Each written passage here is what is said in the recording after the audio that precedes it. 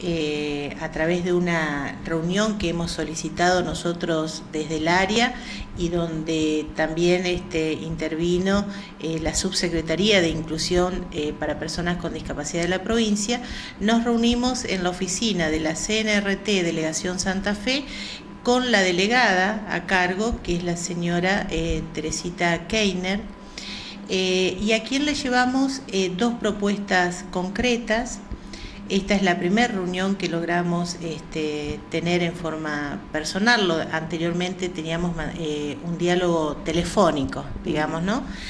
Eh, fue de, hemos solicitado en forma oficial eh, desde, desde el área, desde el municipio, que se efectivice una fiscalización semanal en la terminal de ómnibus de Reconquista.